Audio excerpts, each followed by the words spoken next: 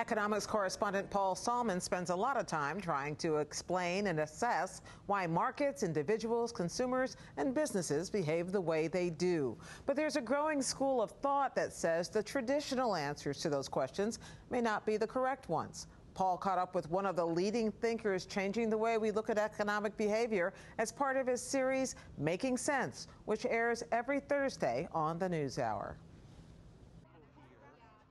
In Chicago's Millennium Park, Richard Thaler, an academic revolutionary who thinks his field, economics, has a weirdly distorted view of human behavior, that we're all rational maximizers, mathematical machines who use our unusually big brains to wisely calculate every decision as we strive to get to the top, thus creating perfect markets to make us better off.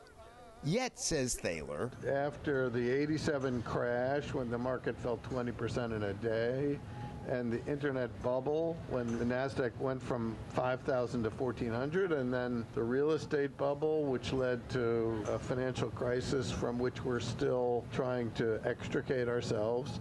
The idea that markets work perfectly is no longer tenable. Thaler is running his revolution from inside the belly of the beast, the University of Chicago, which boasts 28 Nobel laureates practiced in traditional economics. Collectively, they've created what's known as the Chicago School, predicated on the perfect efficiency of markets in which prices rationally reflect all available information. But at a lunch with star students, Thaler offered his latest favorite example of markets behaving badly. A closed end stock fund called the Herzfeld Caribbean Basin Fund. Ticker symbol CUBA. Now, needless to say, it cannot and does not invest in Cuba. That's against the law. And there wouldn't be anything to buy anyway. There are no traded securities uh, in Cuba. Now, typically, the shares of closed end funds, which simply own a basket of stocks, shouldn't be worth more than the stocks themselves.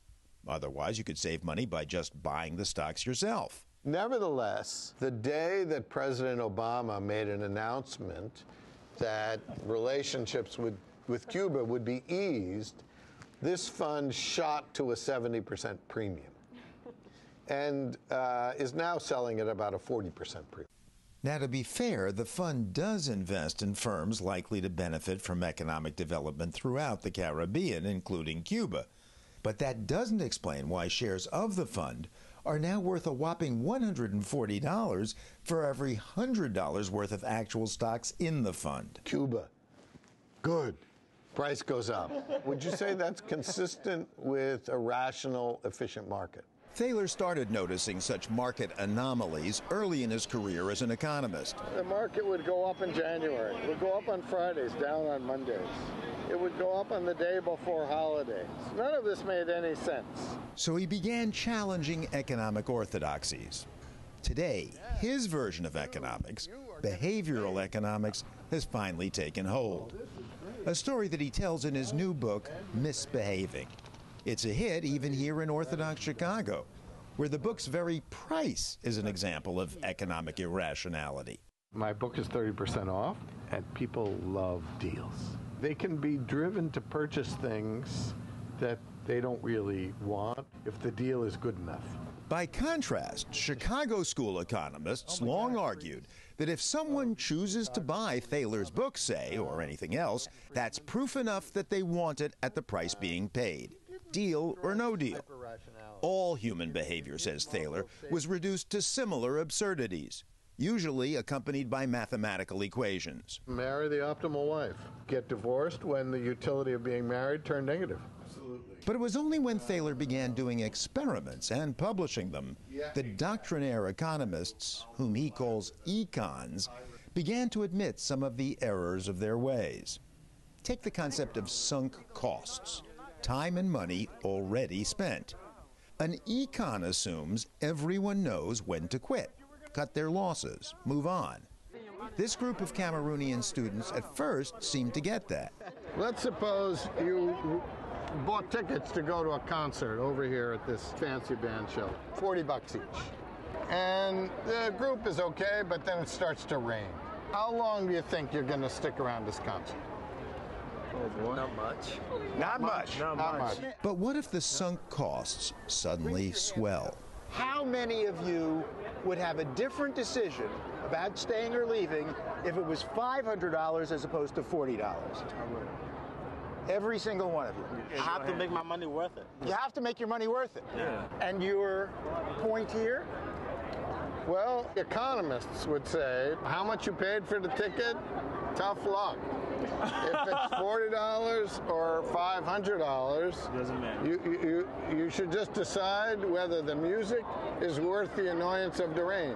Then there's the way most people value their time. As when Riley Gaunt is shopping for a $40 pair of shoes, learns they're on sale for 30, But it's another store, ten minute drive away. Okay, Would you go? probably. Okay. But what if she's shopping for a $200 dress that she learns another store is selling for $190? You think you'd go? No. But you see the point, right? If 10 minutes is worth $10 to you, and it doesn't matter how you're saving the $10, no? Yeah, I mean, that makes sense. Now that you've heard this explanation, would you change your answer? No, probably not. So, Charlie, Her boyfriend, Charlie Ellis, had his own distinctly non econ approach to personal finance. are you pumped about the finals? I'm so pumped. I'm ready. We taped this on the eve of the Stanley Cup finals, eventually won by the Chicago Blackhawks. Suppose I told you I had two tickets to the first home game, about 10 rows behind the penalty box. I would be so excited. Now, let's suppose I gave you those two tickets. How much would he demand to sell those tickets? Man, maybe $500 if I could get that. 500 each? A pop, yeah. Yeah, okay. And how much would he pay if he had to buy the tickets? Maybe 200. Okay, so about about half. Yeah.